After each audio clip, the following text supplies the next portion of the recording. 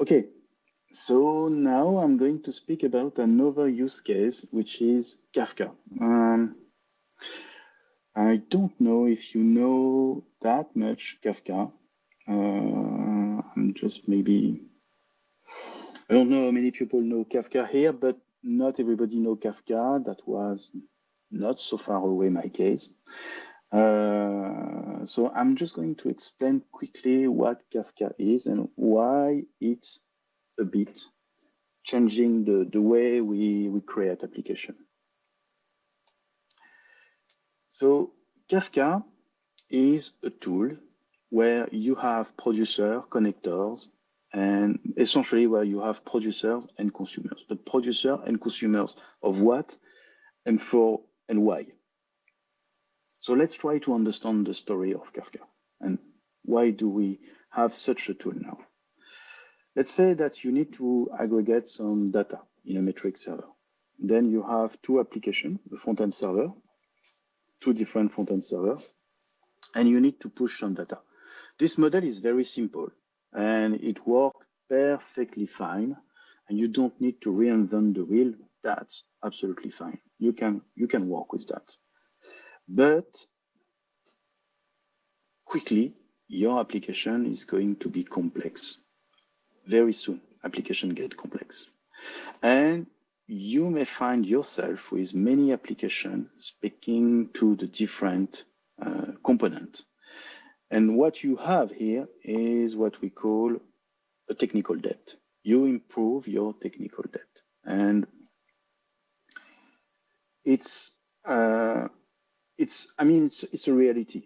I see many projects that are called microservices, micro architecture services project that finally found themselves in this situation, and that make things extremely complicated. And you and you find some some interesting framework like like Istio uh, that try to handle that. But basically, you're facing a technical debt. So you try to to solve this technical debt with a publish and subscribe system.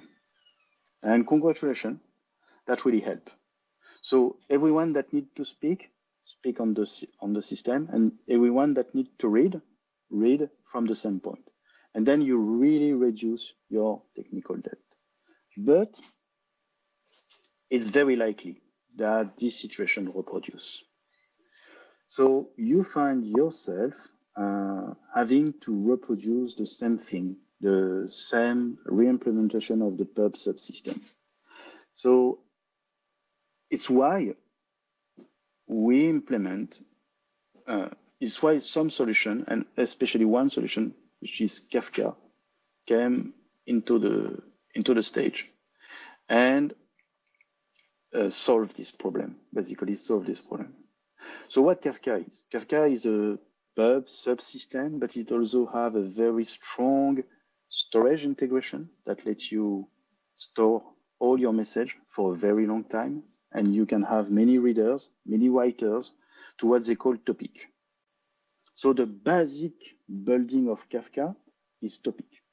A topic could be basically a name and it's made of partition. So partition is the is the things that make your topic able to scale horizontally.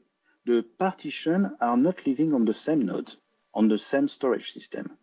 Each partition could be distributed on different nodes, and that really improve your throughput inside the topic.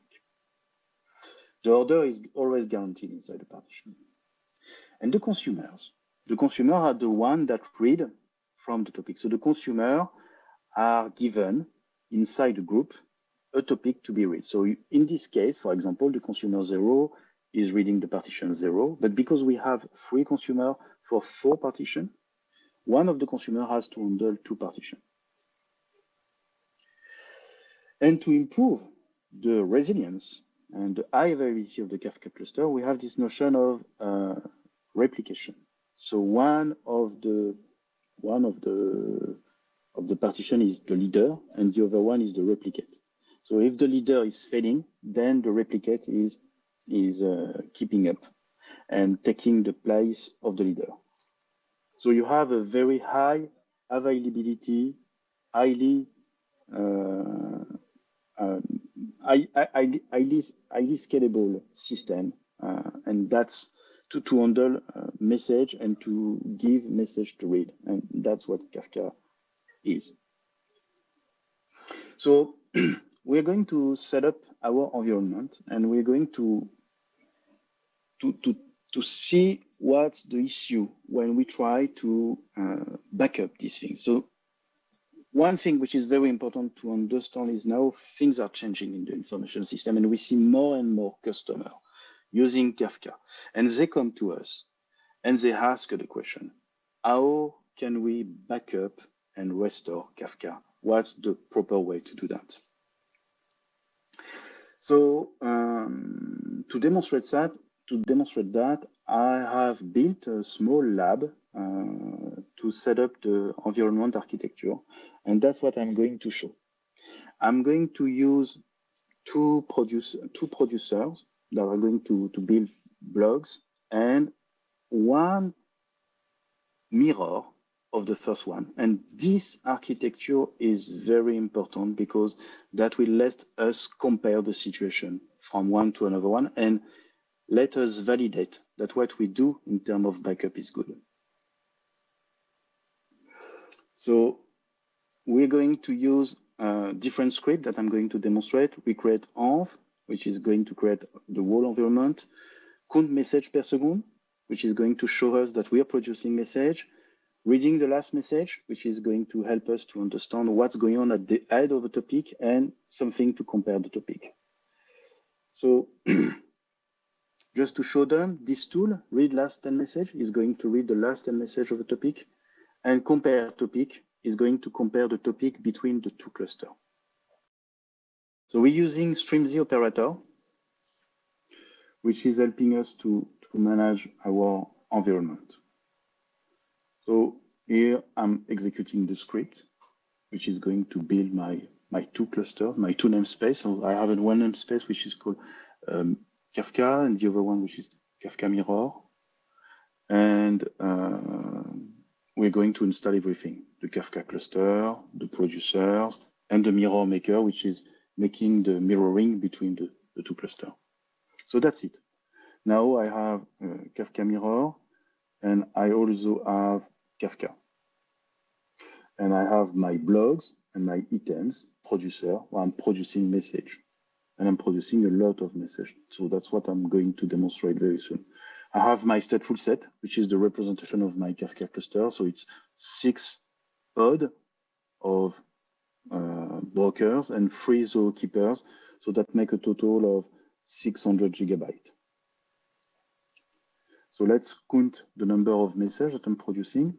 And you can see that actually I'm producing something like 4,000 messages per second in my topic. That's what I'm going to show. Okay. Okay, now let's go to the Kafka mirror. I have the same situation and let's see this situation. I have the mirror maker, which is doing the job of replicating and we're going to count the number of messages per second also, but this time on the mirror maker part.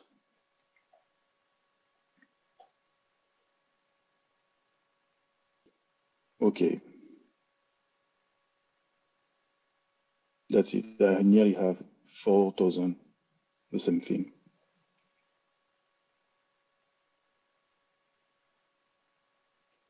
Okay. So now I can just do some tests, some basic tests that I run here, where the goal is just to show uh, that I have exactly the same data on both clusters, and I can compare the data. I have made all the comparison to just check the state of the data. So that's the end of this uh, setup environment and we are now able to compare things. So now I have two strategies. The first strategy of backing up that is the hot snapshot. So the hot snapshot, what I do, I just do use Kasten to take a snapshot of all the data, of all the of all the storage. So if I take a blob, it, it's made of three partitions that are evenly uh, even uh, evenly distributed. But when I do the snapshot, what's going to happen? The first thing is I probably have one partition which is snapshot at the right time. But then I can have a partition where the segment is not flushed. And I may have another partition, but the snap is starting in late due to the fact that when you start a snapshot, you are not 100% sure that everything is starting in the same time. It's why you may have discrepancy when you are taking this snapshot.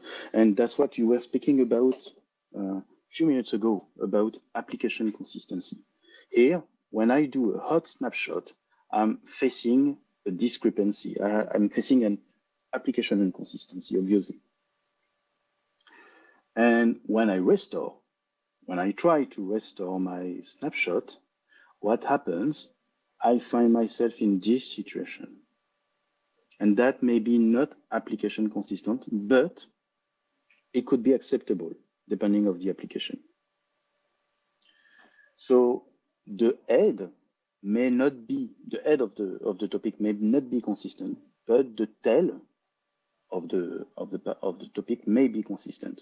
Depending of the use case, it could be a good choice. So let's have a look very quickly to how we implement this, this quick backup. So I restart all my all my uh, producer because I want to see what's a hot snapshot. I want to experience that. Then I'm just checking that I'm producing a big number of messages per second before taking the, this hot snapshot.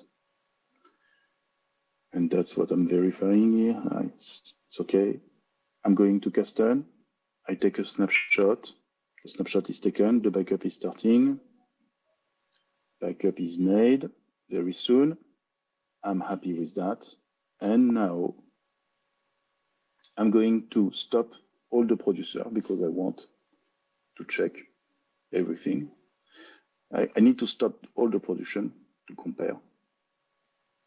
So I'm going to stop the producers and I'm going also to stop the mirror maker.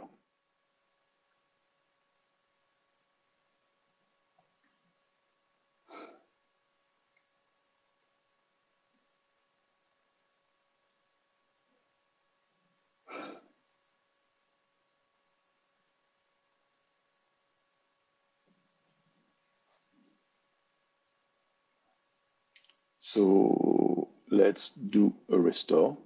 I just go to the Kafka namespace, I find my restore point, and I restore. I restore just the volumes. I don't need to restore the specification. the specification, I mean, the, the config did not change. So I just exclude them from the restore point and I restore and I click on restore.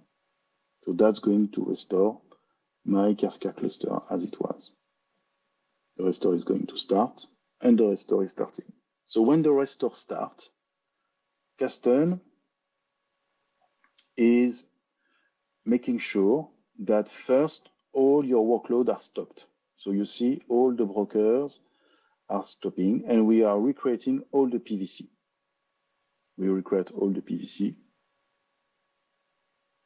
and when all the PVC are recreated, then we restart the workload. So workload have some difficulties to restart, as you can see. Obviously, the hot snapshots, they don't like that that much. But okay, at the end, it managed to reconcile and the restore is finished. So now let's have a look to the different uh, partitions. And what you can see is I have some discrepancy. I have some very big difference at the end of the of the partition. And that means that what I was showing in the diagram is, is something that I can verify now. So my Kafka cluster is not at the end consistent. Is not at the at the end application consistent. So let's check now the tails. And what I can see is the tail is still consistent. The, the tail is still the same compared to the mirror. So I have a difference at the end and I have a tail which is similar. Okay. So now let's see how can we how can we improve that? How can we do something better in this situation? So what we see, and the head is up and consistent, and but the tail is is consistent. So depending on the use case, it could be a good choice because it's it's cheap. But we can imagine something else.